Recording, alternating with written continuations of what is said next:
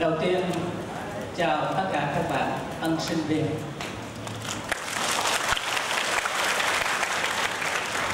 Hôm nay rất vui vì được tiếp xúc với các em.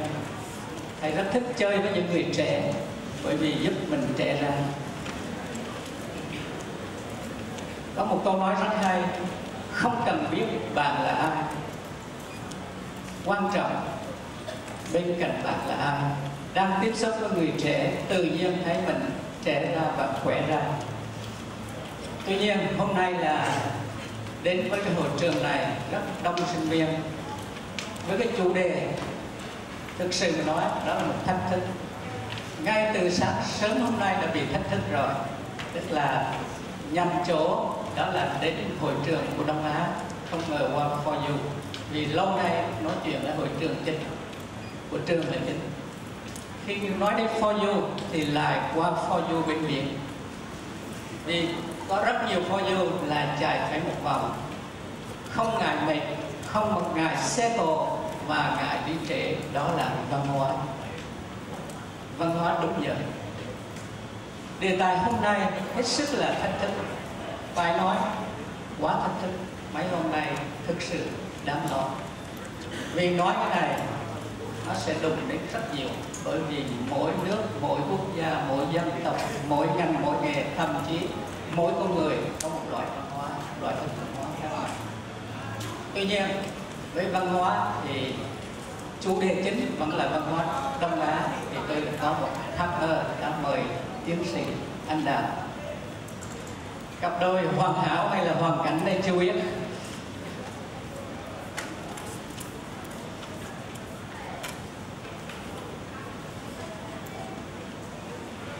Tràng pháo tay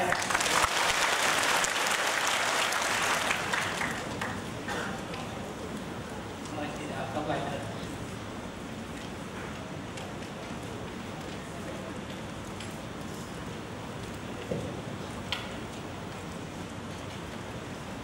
Cô ờ, thân chào tất cả các em. Có mặt trong cái buổi học tập đầu khóa đầu tiên của à, giảng đường đại học với cái ngày hôm nay.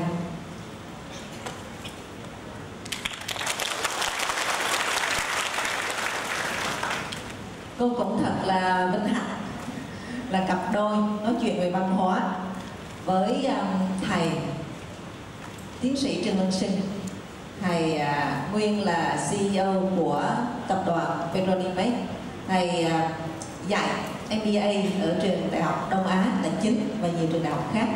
Thầy chuyên về văn hóa và hôm nay thầy sẽ nói cái điều hay ở trong văn hóa. Cái điều hay mà đại học Đông Á chúng ta, những sinh viên đại học Đông Á chúng ta sẽ phải thực hiện để hay hơn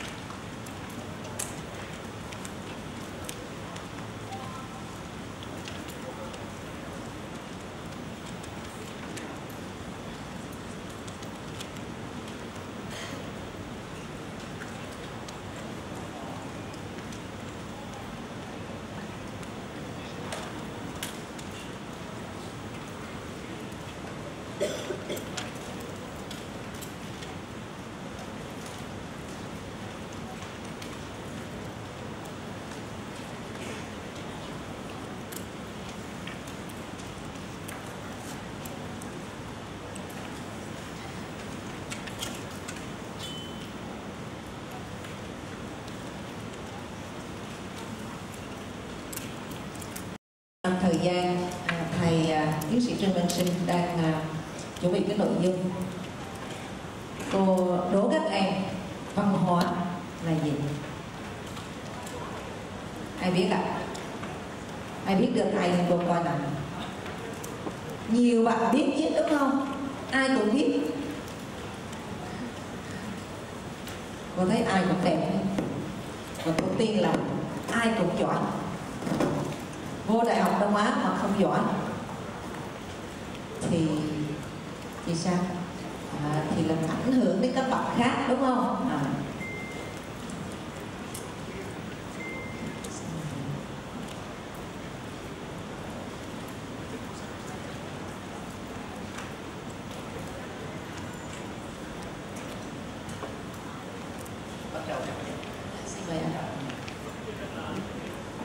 đề hôm nay là văn hóa vậy thì như cô đào vừa nói văn hóa là gì đây là một câu hỏi hay và đồng thời là một câu hỏi khó với chủ đề này không biết là hôm nay nói với em theo cách nào đây với một diễn giả người trình bày luôn luôn có ba cách thì các em lựa chọn một đó là nói các em vui hai là nói các em buồn thứ ba nói các em buồn ngủ chọn cái nào nhạc cũng về hát vào là tưng tưng vui luôn ca sĩ mà đúng không người hát thì cảm thấy buồn khóc vì có nhạc buồn và cuối cùng hát ru ngủ luôn rồi nói vui đúng không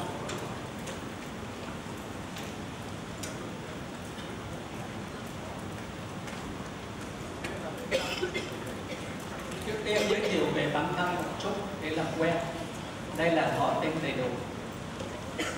Nghề nghiệp chính. Rất tiếc, không phải giáo viên giảng viên đó là làm lĩnh vực business. Trường đời trên 35 năm. Lĩnh vực kinh doanh CEO ba miền Bắc Trung Nam đi hết, làm hết với những vị trí khác nhau.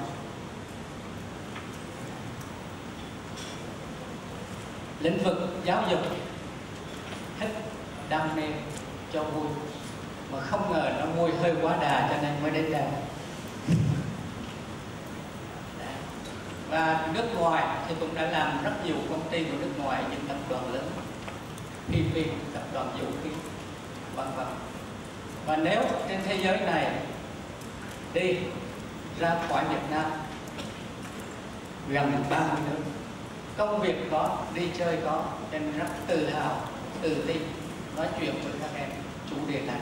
Bởi vì văn hóa nó phải là không gian, thời gian trước đây khác, bây giờ khác.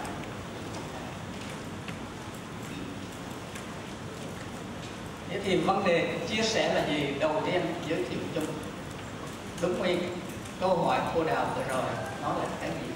Văn hóa. Và sau đó là văn hóa đại học Đông Á phần này chia sẻ những giá trị cốt lõi mà Đông Á đã đưa ra với văn hóa của sự Việt.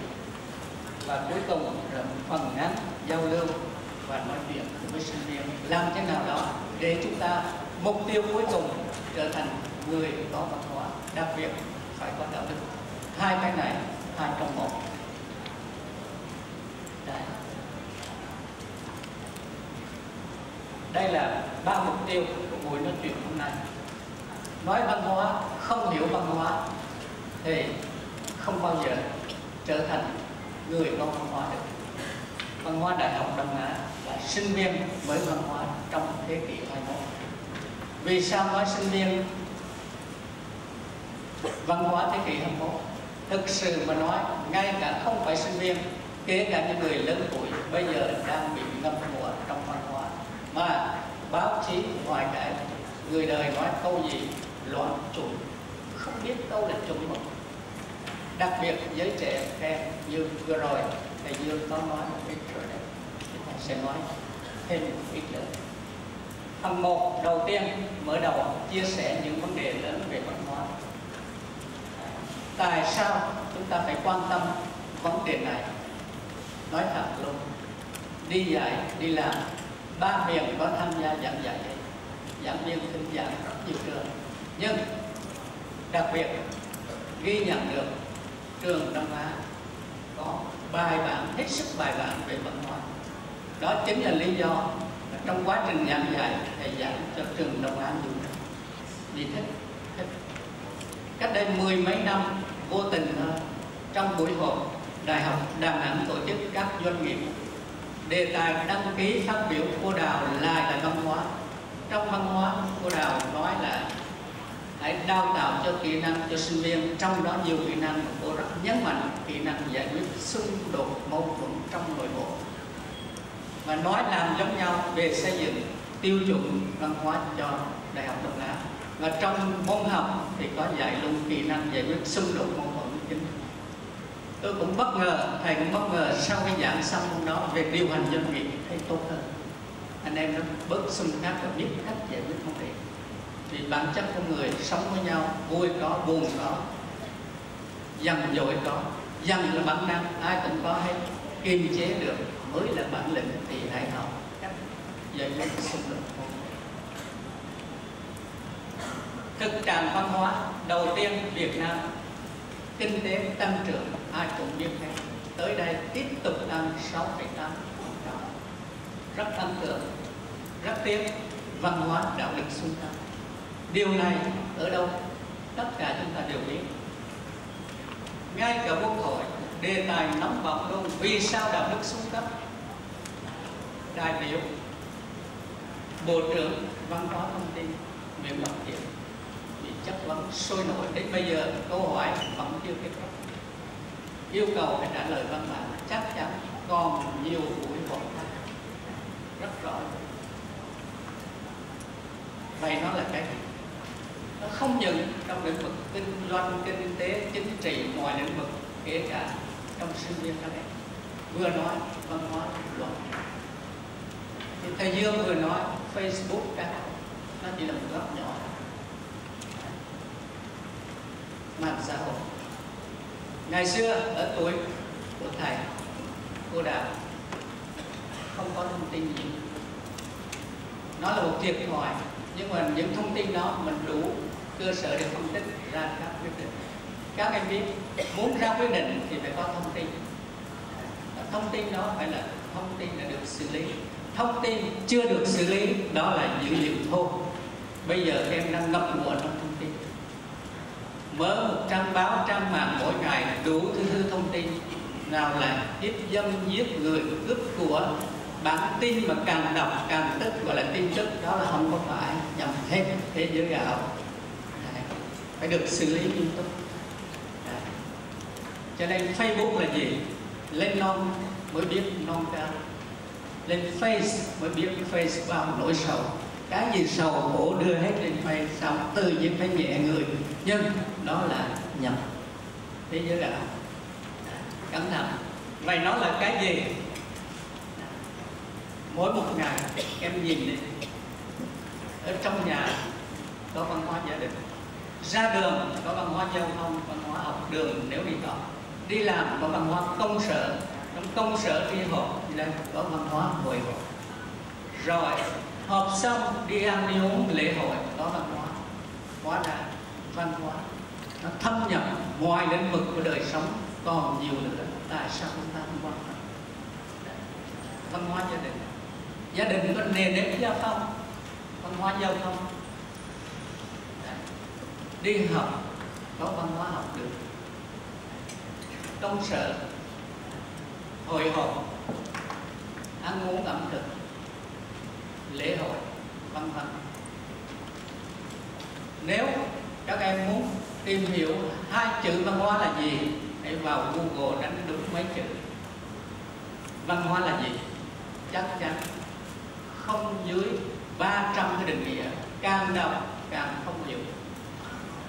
Có nghĩa là người ta định nghĩa theo các khía cạnh khác nhau. Thế thì sau nhiều năm nghiên cứu, tìm hiểu, thì văn hóa em chỉ cần biết ở góc độ này dễ chịu, dễ hiểu hơn. Đó là gì? Đó là điều hai lẽ phải. Cái gì đúng là đó. Thứ hai đó là đối nhân xử thế những người với người. Nó thể hiện lúc nào, thể hiện qua ứng xử giữa người với người. Cách ứng xử nhìn biết bạn ở đâu đấy. Người nhật chào nhau thế nào biết rồi, biết ứng xử.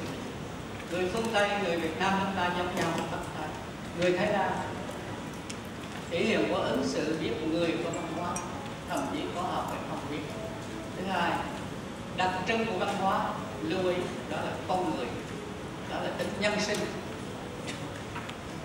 Nơi nào có con người sinh sống, nơi đó mới có văn hóa. Con vật nó không có văn hóa. Đây là vấn đề rất lớn. Chính vì vậy, người nước ngoài mắng họ, nghèo em có tiền, em nghèo. Vô học thì em có tiền đi học, em dốt nhưng mà nói họ vô văn hóa là bắt đầu họ nổi điên. Bởi vì đồng nghĩa mắng họ độ xúc vọng rất quan trọng câu này. Mình nó đồ vô văn hóa nhân răng cười. Nhưng mà nói nó mới nghèo dốt nhảy nơi quấn liền thì không chết là chỗ đó. À, tiếp theo đó là giá trị. Cái gì có giá trị được nhiều người công nhận thì lúc đó mới gọi là còn cái nhóm nhỏ các em ngồi tán dương với nhau không phải thực sự có giá trị. Được xã hội công nhận và cuối cùng là thể hiện qua ứng xử. Cụ thể là những cái này này đi đâu em soi hết chừng này thôi đến đâu, phong tục tập quán mình, đó là gì? Nhập gian tùy tục đây là điều rất nhiều người ít để ý. Theo đi à, ví dụ gia đình con dâu mẹ chồng hay xung đột vì sao? Bản chất nó là xung đột ở nhà mình con dâu ngủ 8 giờ mới vậy dậy trong khi đó về nhà chồng 6 giờ phải dậy nấu cơm đúng không? Xung đột văn hóa ngôn ngữ người Việt Nam anh yêu em người Anh người Mỹ I love you. Người Hoa ngồi ai thì đấy rất khác kể cả văn hóa vùng miền, ba miền chúng ta rất khác nhau. Đứng đây, bước ra đường, đi đâu đâu qua khỏi hầm đèo hai văng đi mô rửa. Đấy. Vào. Bình định, khác. Có một số từ vùng này nói, vùng khác không hiểu. Ví dụ vần ê. Vần ê, người bình định là ơ, cây khế. Nó là cây khớ. Thằng nó bị bd thằng nó bị bơ đơ chịu hiểu nổi. Rồi vào đến miền tây, miền nam, đi về đi về một số vùng miền tây, từ ca hát người ta không nói không nói được g nói được. Ăn dịch lộn với rau răm đang này nói ăn vịt lộn với rau răm thấy sợ chết thở luôn đó thảnh thơi nói không được. Khảnh thơi à, người tôi khoan khoái nói không được. Nói người tôi nó phan phái. Một cô người quảng nam đi vào miền tây. Em có yêu anh không? Không yêu thì dứt khoát. Ngôn ngữ khác nhau nói gì? Yêu yêu dứt khác sợ quá chạy ca hát nói không có được à, chạy mất dép à, ngôn ngữ cho nên các em đi đến đâu nhập gia tùy tục đi. Giáo dục. Đấy. thế giới người ta đánh giá cao không phải GDP không phải lắm tiền lắm của đánh giá nền giáo dục cả. Bằng cấp được không?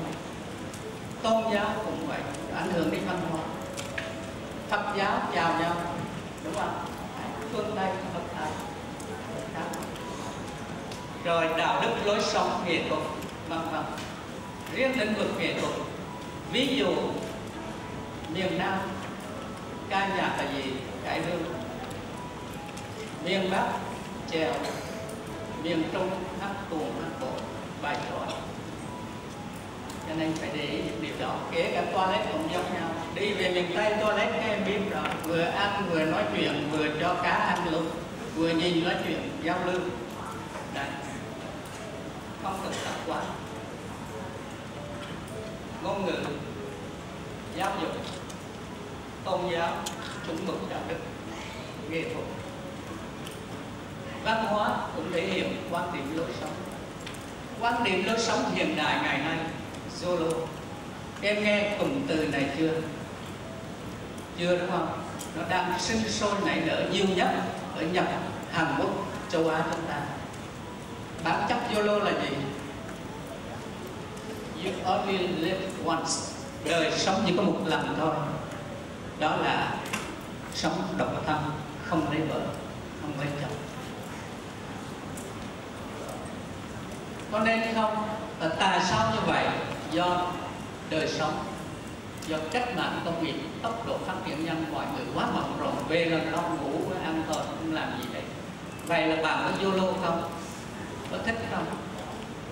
Hay là vô duyên? Giá trị thứ hai cốt lõi, bắt buộc phải phân biệt trong thế giới hội nhập này. Không phân biệt, không được. Đó là một số lĩnh vực trong văn hóa. Sau khi chia sẻ với em xong đề tài này, nếu như em về hỏi những người, kể cả những người làm lĩnh vực văn hóa, chưa chắc gì thậm chí những biểu ngữ treo ngoài đường trong chừng mực nào đó cũng sai. Văn hóa và văn hóa chúng ta nói rồi, đó là điều hay lẽ phải cái gì tốt đẹp được mọi người công nhận, đó là đối nhân xử thế, thể hiện của vậy thì học vấn là gì? Đó là bằng cấp em học xong 4 năm, có được bằng đại học nurse rồi à, quản trị kinh doanh kế toán văn hóa có văn hóa hay không? Chưa do vậy, phải tu dưỡng rèn luyện. Tuy nhiên, mối quan hệ giữa hai cái này nó như nào? Thường, người có học văn hóa cao hơn những người khác. Tuy nhiên, ngoài lệ không phải lúc nào nó cũng đúng. Có những người học vấn cao, giáo sư bác sĩ, tiến sĩ đi ra đường, chạm nhau là quấn nhau chưa nhau ngược lại, có những người học vấn thấp. Một người phu quét đường và quét rác ngoài chợ thôi.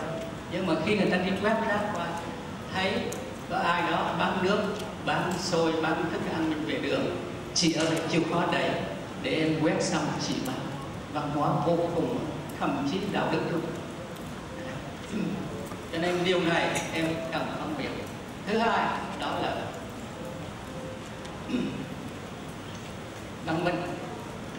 Văn minh đó là phương tiện sống tốt hơn người khác. Đó là những nước giàu có. Đó những nước và cái nền văn minh, khoa học, kỹ thuật và tiến bộ rất tốt. Đi ra, có xe đưa đón mát luôn bước vào học đường này. Là mát mẻ có nước uống phục vụ miễn phí đời sống người ta rất cao. Thể hiện giá trị vật chất tiến bộ khoa học kỹ thuật đó là phương tây ngừa chính văn hóa thế thì mối quan hệ giữa văn minh và văn hóa là gì? Thường giàu có. Thì câu nói đúng của nó là gì? Phú quý, sinh lễ nghĩa bằng công thì nó sinh đạo đạo khó quá, khổ quá làm liều. Cho quan ngại tuy nhiên, ngoài lệ cũng khá nhiều.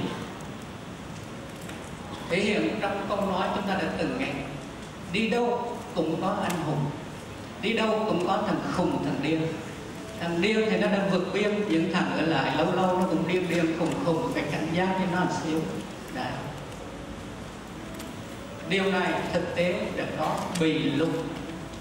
Đi một chuyến máy bay ở nước phương tây giàu có, mỹ từ bờ đông sang bờ tây mất mấy tiếng đồng hồ hai đến ba tiếng.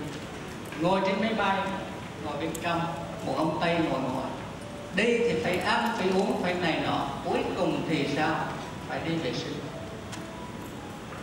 Xin phép, let me go, tay không cho.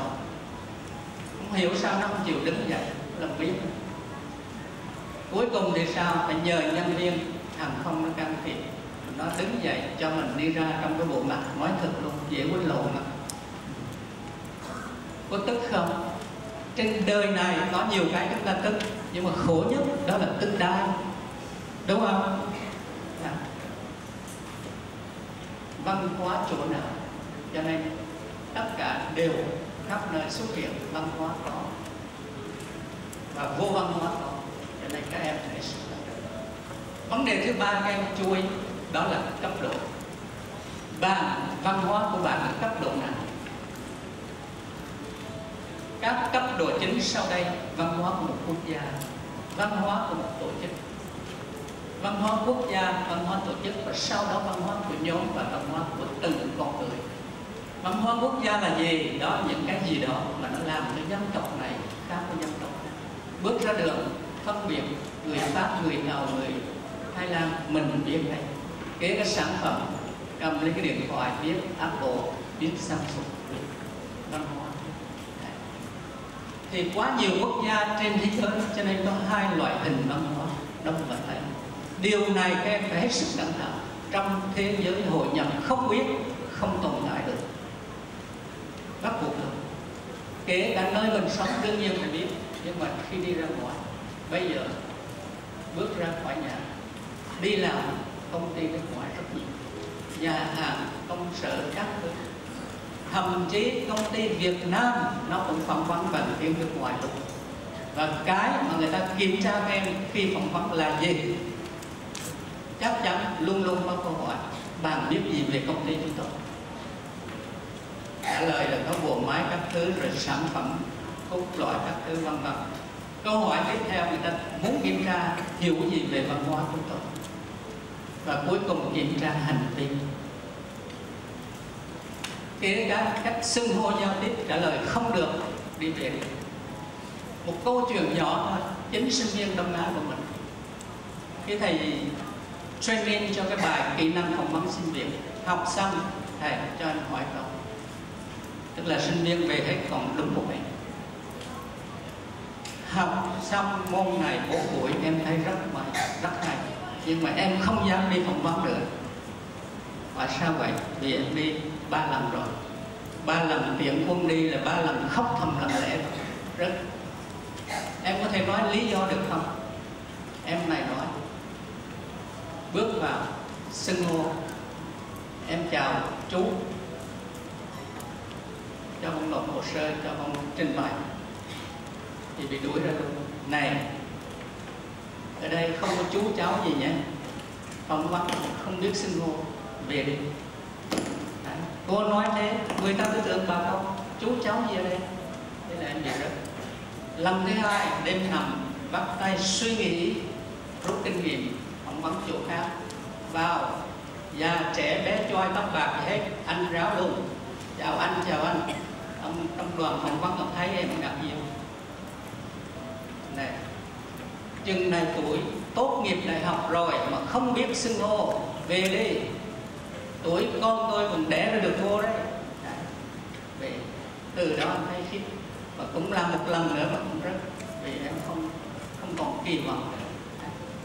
Văn hóa giao tiếp, xưng hô các cái văn hóa doanh nghiệp người ta có hết rồi cũng một lần nữa, có một em cũng chính trường này hỏi.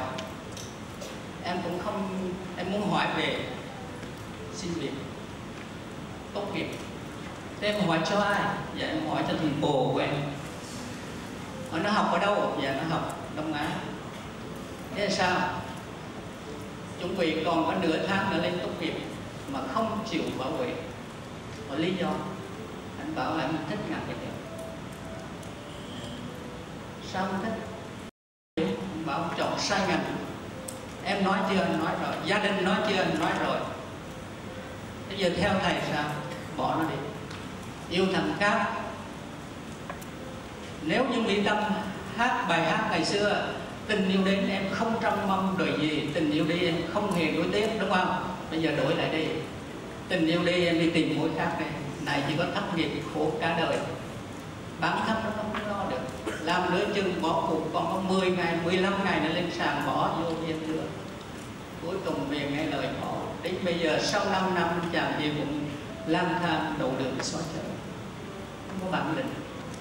Biết nghe à, ngay cả đi học, ông bà cũng dạy rồi học, hỏi đúng không?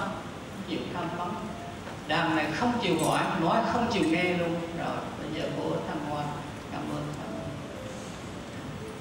vậy thì đặc trưng hai cái nền văn hóa này thế nào các em phải hết sức chú ý. Để làm gì? Sống cho nó phù hợp. Đến đâu mình cũng ok tây nó thích lắm cốt loại nhất của phương tây đó là lý. Sống đúng luật. Ghét nhất luật. Phá luật, phá lệ, phá quy trình, không ưa nổi. Thứ hai là tính tuân thủ, thầy dương vừa nói, giờ giấc. Đặc biệt, hết sức chú ý. Kể cả các công ty Việt Nam bây giờ nó cũng rất để ý. Nhưng không nói tìm cách cho nghỉ theo cách khác. Cách nào giao dịch khó hơn? Cho đi miền núi sống với khỉ chịu không? Rồi nghỉ thôi. Thế họ không có đuổi, bây giờ không có khái niệm đuổi việc gây không tính tuân thủ hai cái này. Tiếp theo đó là cá nhân. Thể hiện quan điểm cá nhân đúng. Hướng ngoại và luôn luôn cái gì hợp lý thì làm. Đừng sợ cái đúng luật là nếu như thế thì phương đông thì ngược lại. Rất nhiều thứ trong đây những cái cốt lõi nhân nếu bên kia là lý trí, là luật, thì bên kia là tình cảm. Nhân viên đúng ra đuổi việc rồi, giám đốc nói, từ từ. Nếu đuổi nó thì vợ con nó sống sao để từ từ anh tình họ luôn luôn cân bằng trong nội bộ. Biết kiềm chế tay không thích nói thẳng luôn. Cho nên cân bằng trầm tình. À, người phương đông sống cộng đồng theo số đông. Một quán ăn dở là dở mà thấy người đông vô ăn tưởng ngon hóa ra quán khác ngon hơn tâm lý đậm động dạ. người phương đông sống hướng nội giống mình che giấu. Nhưng cái đó các em phải về đây là cái nền các em nên xem cái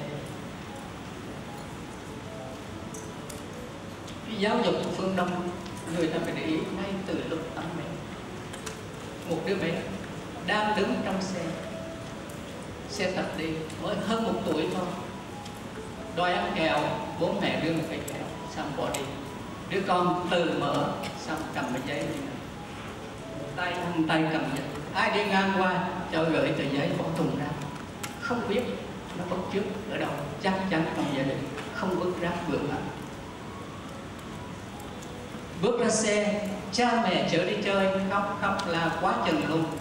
Bởi vì sao? Khóc con xích beo xích beo, không đeo cái dây này nó không chịu đi. Đấy. Cái ý thức người ta được giáo dục ngay từ tấm bé. Trong khi đó, người Việt Nam mình thì ngược lại. Mỗi lần con chạy chơi té tại cái bàn tại cái ghế tại cái này này làm cho nó trượt. À, tại cái này. Bền gì văn hóa đổ thừa là người khác không bao giờ chịu trách nhiệm cá nhân. Những cái rất nhỏ thôi. Thì các em nên về à, tìm hiểu thêm. Để gì? Hội nhập trong thế giới này cho nó tốt. Tiếp theo văn hóa tổ chức. Tổ chức là gì? Ví dụ sân bay đường sắt bưu điện là các tổ chức. Nơi các em sẽ phải đi làm trước mắt. Cái mà các em đối mặt đó là tổ chức đông đông á một tổ chức tổ chức giáo dục. Văn hóa là vẫn có giá trị, vẫn có thói quen. Thể hiện các hành vi ứng xử. Vậy các em phải thuộc các nguyên tắc ứng xử đông á các em sẽ tồn tại rất tốt. Những điều vừa chia sẻ với các em đó, thứ nhất, văn hóa là giá trị, văn hóa là học vấn là bằng văn minh là giá trị vật chất, tiến bộ khoa học kỹ thuật. Con người có văn hóa, tổ chức có văn hóa, quốc gia có văn hóa hay không, giá trị của họ là gì, đặc trưng của họ là gì, các em phải biết. Đấy. thứ hai, văn hóa chỉ có ở con người. Đấy. văn hóa mang tính lịch sử. Ngày xưa khác, bây giờ qua thời gian năm tháng, văn hóa cũng có sự thay đổi. Ví dụ người phụ nữ phương đông ngày xưa tài gia tổng phụ xuất gia tổng phu phu tử tổng tử, rất là nghiêm ngặt bây giờ đâu có đúng không? Lúc ở nhà thì thờ cha, lúc đi lấy chồng thì theo ông chồng. Sinh con để cái, chồng chết vẫn ở vậy nuôi con, không được lấy chồng ra. Rất khổ. Được quan niệm gì nữa, đàn ông? Ngày xưa, đàn ông to bụng thì sao? Ngày nay đàn ông to hùng thì sơ gan tiểu đường như được gì. Cho nên thầy điều chỉnh liền, tập thể dục đúng không? Rồi gì nữa? Trong tình yêu. Yêu em, mấy núi anh cũng trèo. Gì nữa mấy em? Mấy sông anh cũng lội, mấy đèo anh cũng qua. Bây giờ nó lệnh chuẩn mất. Nó đổi thành yêu em, mấy núi em cũng trèo. Mấy sông anh cũng lội, nhưng mà thấy nghèo anh thôi vì anh nuôi em không nổi được nó thay đổi theo thời gian và thay đổi theo vùng miền, vùng này khác, vùng khác khác. Đấy. trong văn hóa phương tây, duy lý, hướng ngoại, cá nhân. Phương đông, duy cảm hướng nội tập thể. Đó là những vấn đề cốt lõi chia sẻ với các em về văn hóa.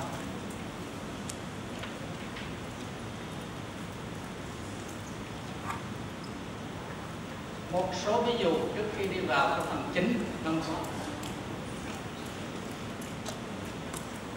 Hindu, đó là một cái đạo ở đâu kem có trước Phật giáo. Đạo này không ăn thịt bò. Đây là một nét văn hóa của người Ấn Độ, đặc biệt đạo Hindu. Đất nước này thầy có đi qua, bò nằm giữa đường người đi xe phải dừng lại. Dụ dụ cho con bò đi vô rồi đi. Thứ hai, hồi giáo. Đất nước hồi giáo người ta không có ăn thịt lợn. Châu âu không ăn thịt chó, không ăn con bồ câu lý do? Bồ câu tượng trưng cho hòa bình. Ngoài công viên nhiều lắm. Thịt chó không ăn. Nó có một lý do lâu đời của nó. Người phương tây là con cái đi làm hay cháu thì ở nhà trẻ, ở nhà một mình. Phương đông về già chơi với cháu, phương tây về già chơi với chó, không có ai chơi hết. Do vậy họ rất quý chó. Đã. mới đây, một cái điều ra mới nhất. Giữa mất chó và mất người yêu, em khóc ai nhiều hơn? Và em khóc chó nhiều hơn vì con chó em quý nó tìm không được người yêu em đi ra đường đấy Đấy. người Việt Nam thì sao các em?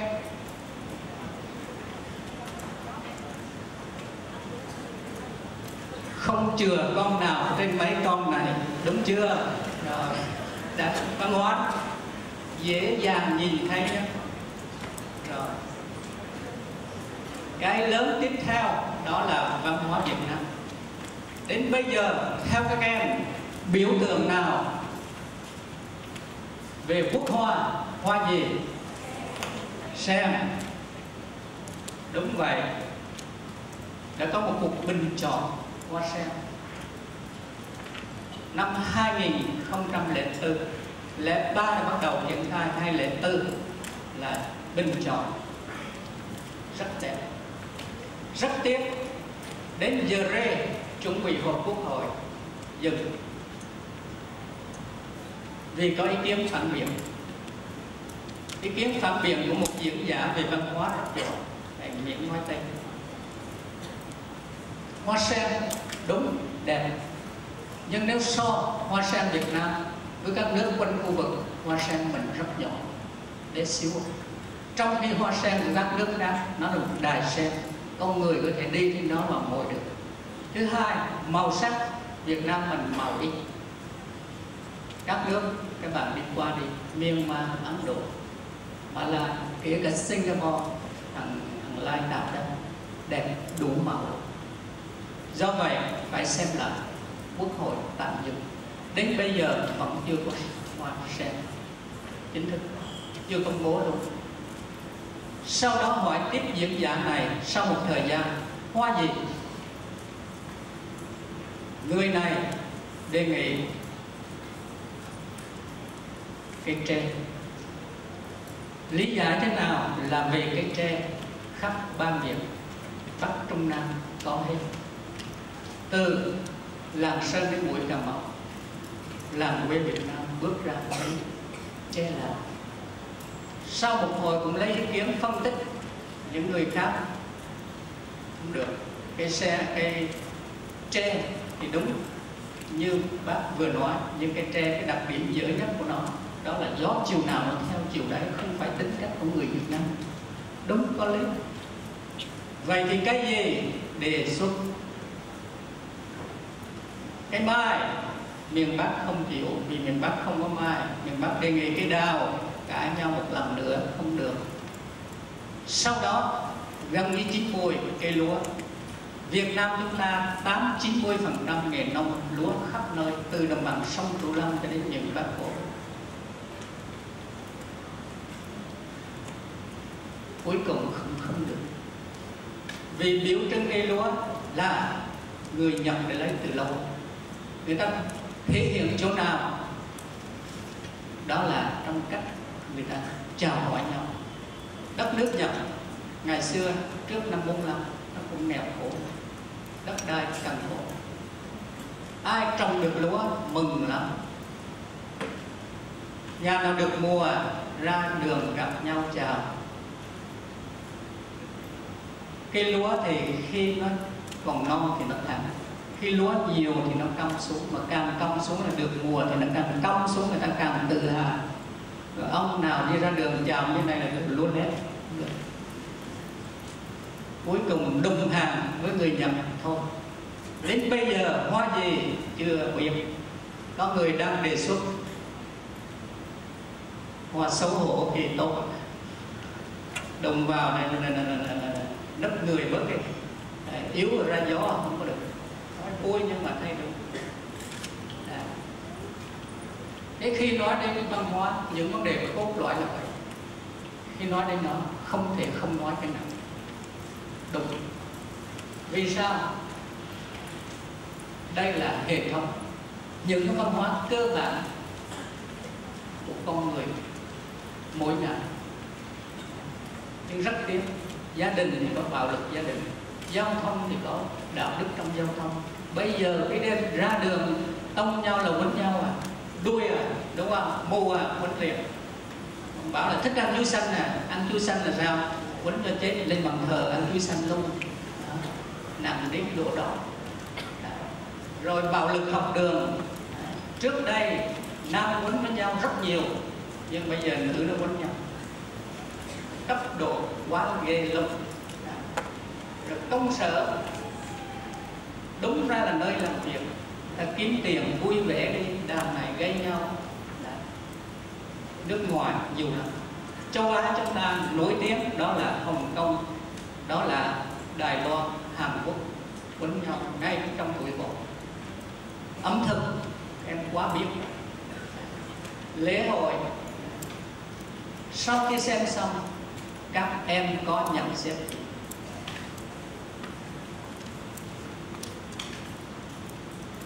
Chính vì vậy cho nên là quốc hội họ nói điều đó là đúng.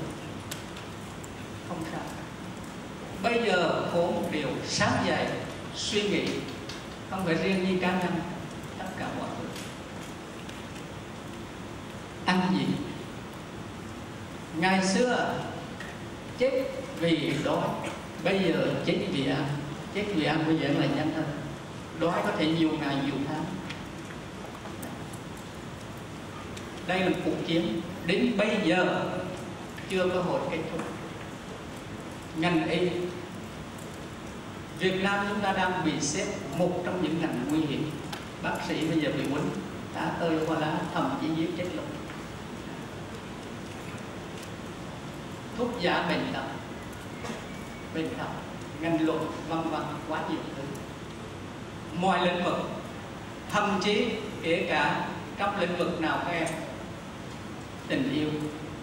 Đến bây giờ, khi tình yêu hết hạn, thì sự khốn nạn nó lên ngôi giết liền. Yêu không yêu là giết quá nhiều luôn cho nên câu nói gì? Em phải lưu ý. Vấn đề là gì? Văn hóa và đạo đức. Hai vấn đề trong một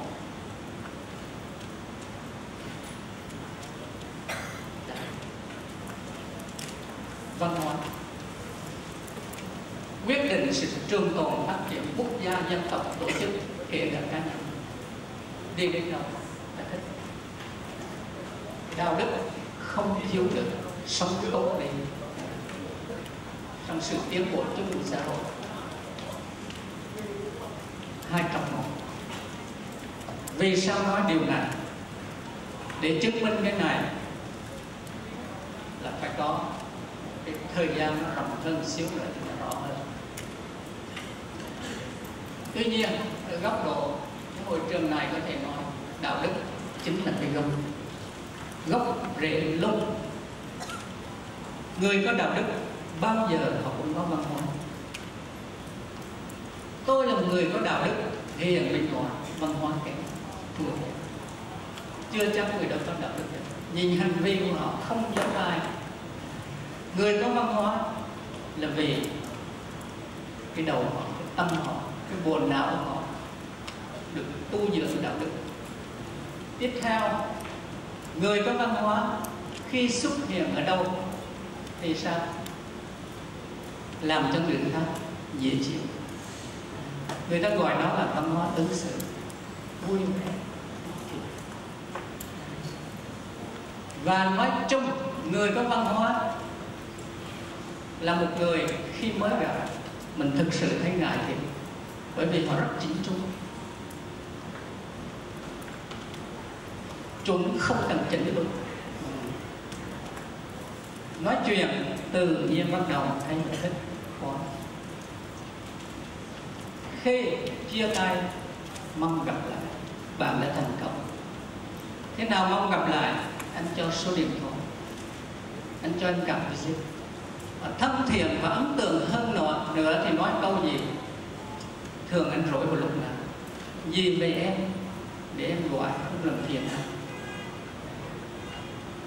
Phấn đấu đi đích thực này.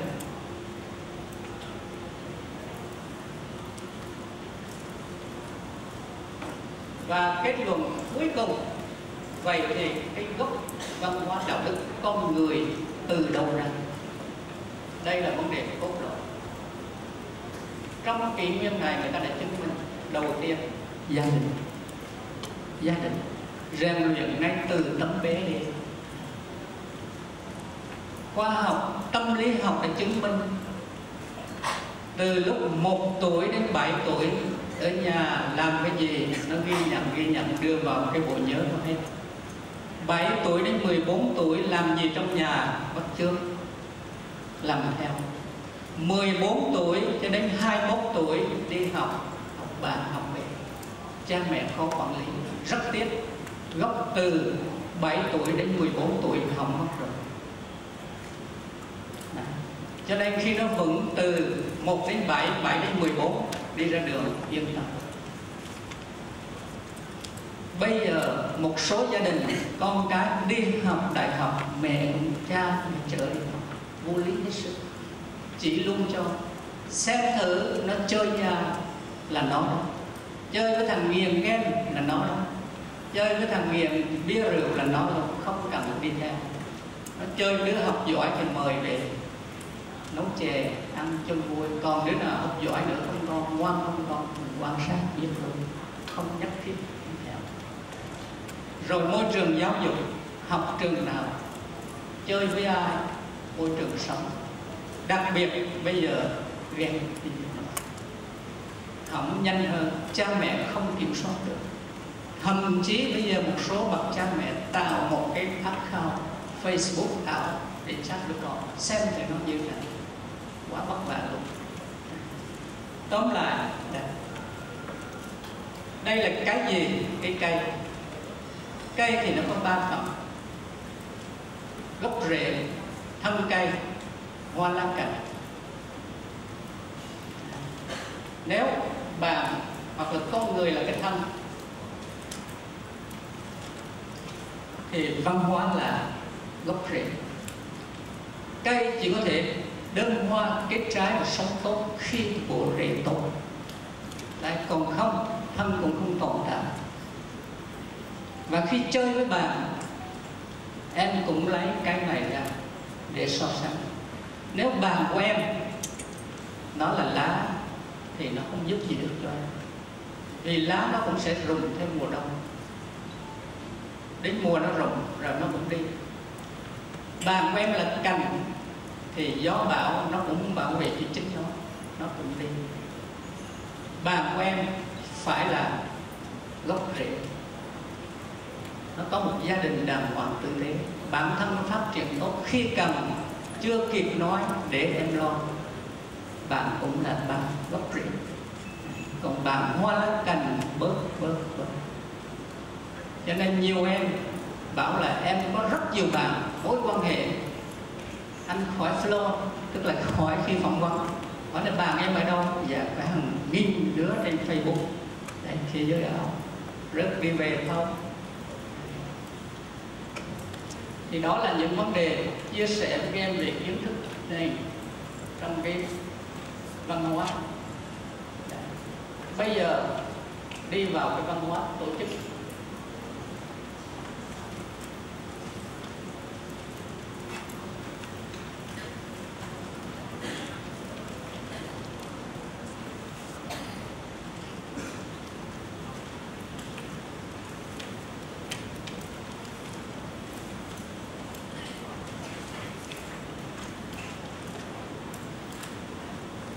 Xin chia sẻ một chút về văn hóa.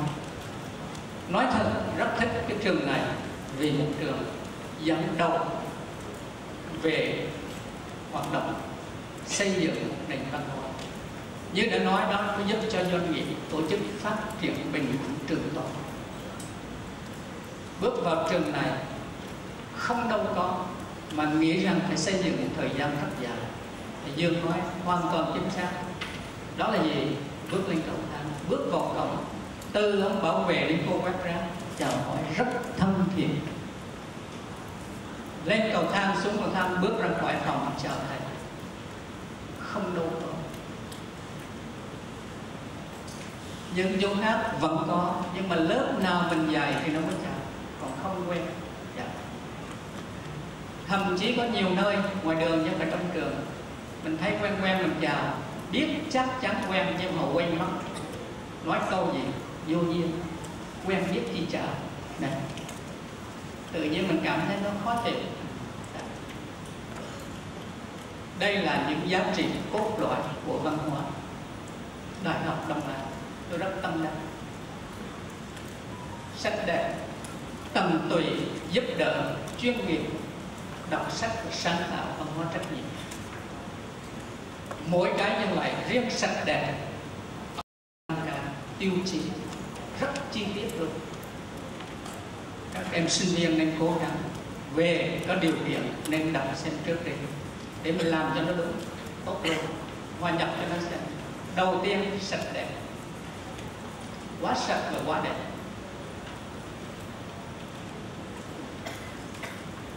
Từ ngoài vào cho bên trong.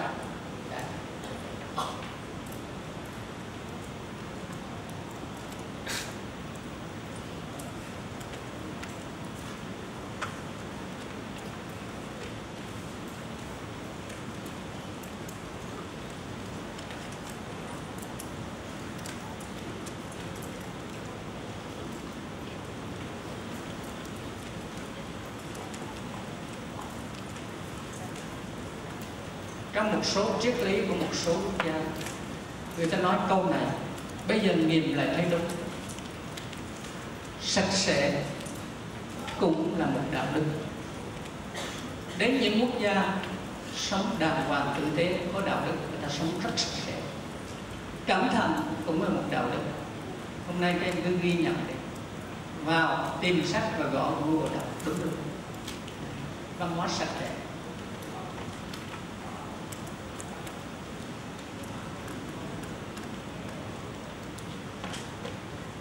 Văn hóa tận tụy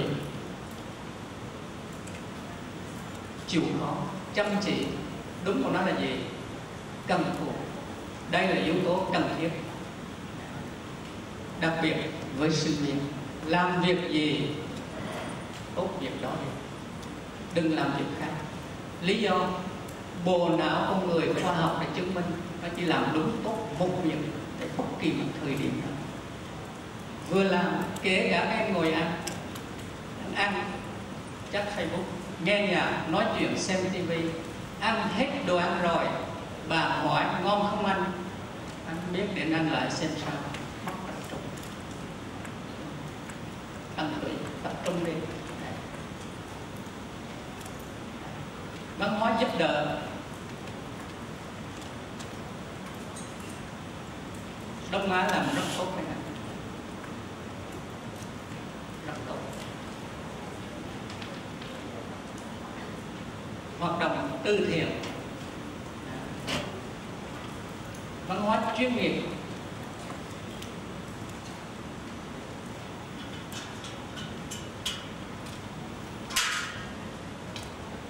Học đi với học chắc chắn các em sẽ có một buổi trải nghiệm tốt. Trường này có kinh nghiệm được không? mới đây, trải nghiệm nhiều, nhìn thấy bên dòng Nhật là quốc gia làm việc khá tốt vấn đề là bạn có tồn tại được với họ hay không thôi. Rồi văn hóa đọc sách và sáng tạo. Đọc sách. Sáng tạo. Trong thế kỷ này, đi học ra, ai cũng giống nhau, cũng kiến thức đó cũng thầy đó quan trọng, bạn thay đổi cả. Làm tốt hơn người khác, chắc chắn bạn thành công. Và cuối cùng, cuộc sống này phải có trách nhiệm trách nhiệm đầu tiên với bản thân, học tốt nghiệp đấy học 4 năm 5 năm vẫn chưa xong 10 năm cũng không lấy được các bạn. Bạn không có trách nhiệm với bạn. Bạn đừng mơ lo cho bất kỳ ai. Thương mình trước đi. Đấy. rồi trách nhiệm với công việc làm cho thật tốt. Bạn mới tồn tại được. Và cuối cùng sau khi ấy rồi, tốt rồi. Trách nhiệm với xã hội. Đấy. thậm chí trách nhiệm với tổ quốc đông á làm rất tốt việc này. Những hình ảnh tôi ghi nhận được, đánh giá cao.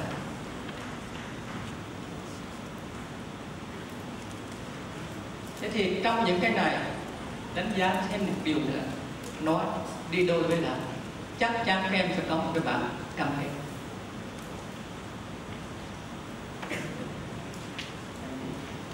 Điều này nói thật luôn dạy rất nhiều trường, chưa thấy trường nào có cái bạn cam kết về văn hóa.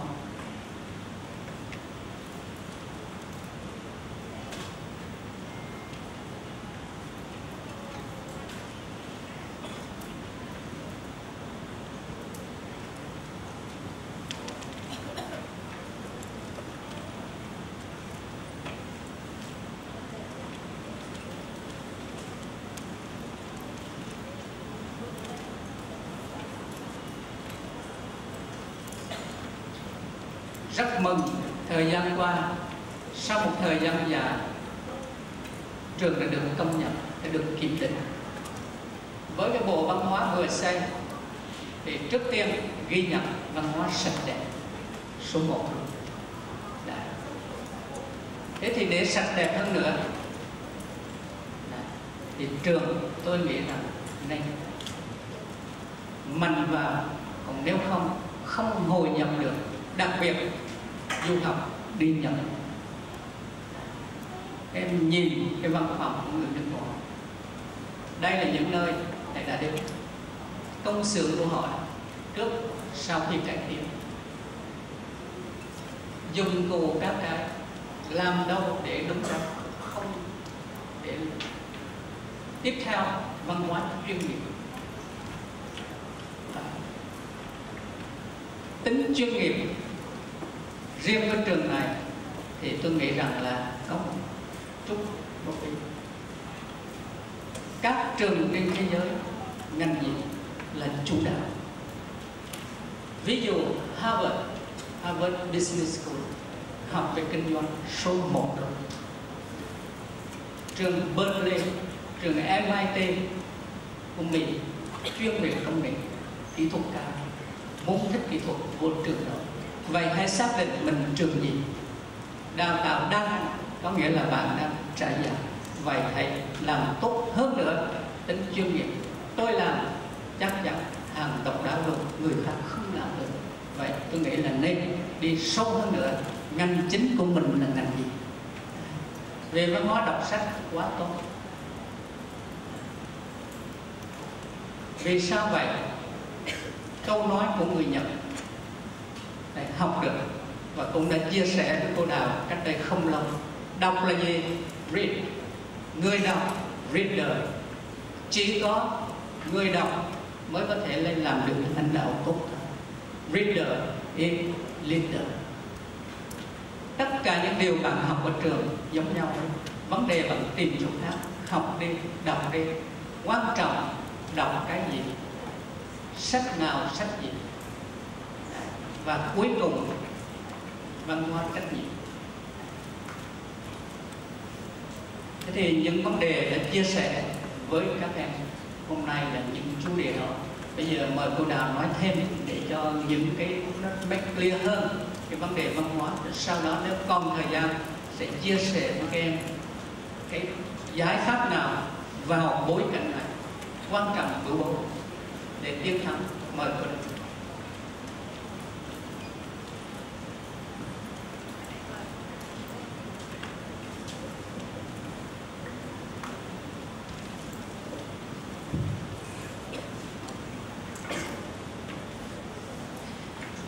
các em ơi mình không thể nào mà tiếp một tràng vỗ tay thật lớn cho thầy.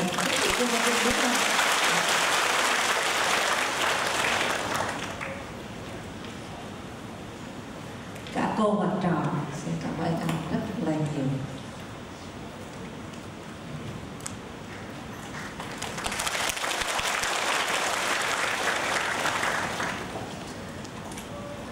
quả thật um,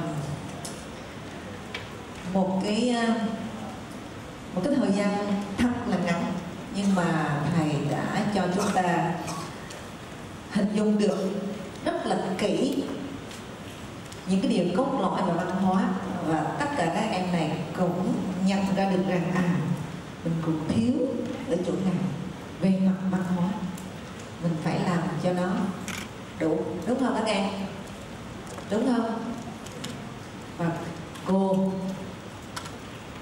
xin cảm ơn thầy rất nhiều cô tiếp thu một cách hết sức nghiêm túc về những ý kiến thầy đã có biết cho trường và cô cũng được học rất nhiều điều từ thầy qua cái bài mà thầy vừa trình bày với các em.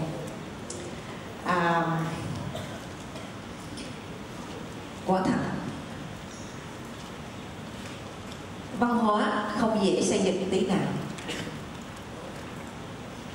Trường chúng ta xây dựng văn hóa từ rất lâu. À, như thầy trương văn sinh vừa mới trình bày mà các em được nghe đó. Và có lẽ cũng là trường xây dựng văn hóa mạnh mẽ nhất trong các trường đại học. Thì bây giờ các em nhìn thấy à, cái điều đầu tiên mà các em nhìn thấy được đó là đó là sạch và đẹp đúng không? À, và nhà trường dự kiến hoàn thiện cái này sạch đẹp trong đó có cả chỉnh chu như đất nước Nhật. Các em thấy mình làm được không ạ? Được không? Được. Cho một tràng vỗ tay là những người chủ làm đi. Đúng không? À, chỉnh chu. Trong đó có một chi tiết. Đúng giờ. Việc nào ra việc đó. Cô à, có mang theo một cái cuốn sổ để cô chứng minh với các em rằng là các em 5 năm cũng có từng học tập đầu khóa cái cuốn sổ này cô đã ghi tất cả những ý kiến hay của mỗi diễn giả trong mỗi buổi. Và hôm nay dự cái lần này với các em cô mở ra à, cô lượt lại à, những cái điều năm cũ nó vẫn còn rất giá trị và những cái điều mới như thầy trương sinh hôm nay cô bổ sung vào. Ví dụ ví dụ leader is gì? reader is leader. Không đọc thì là thiếu. Thiếu rất lớn luôn, bởi có ba cái cây học tập. Một là học tập quanh trường lớp sách vở. Chúng ta đang làm đây. Hai là học qua thực tiễn và ba là học qua sách vở. Ai? Ai vận dụng được, ai kết hợp được một cách nhuần nhẹ, người đó thành công hơn. Có một buổi sẽ định nghĩa rõ cho các em về chữ thành công. Hôm nay, cô cùng với thầy trương văn sinh nói cho các em rõ về từ văn hóa. Bởi có văn hóa có đạo đức mới làm nên được thành công. Như vậy thì à, chúng ta có thể hình dung văn hóa là gì, đúng không? Mà thầy Trinh sinh đã dẫn cho các em thấy con đường rồi đó. Bây giờ mình có thể hiểu gọn hơn một chút văn hóa. Rồi các em phải nhớ hết những cái nội dung bài học hôm nay. Đó là bài học làm người sinh viên trong 4 năm ở giảng đường bài học làm người sinh viên. Nó lớn lắm.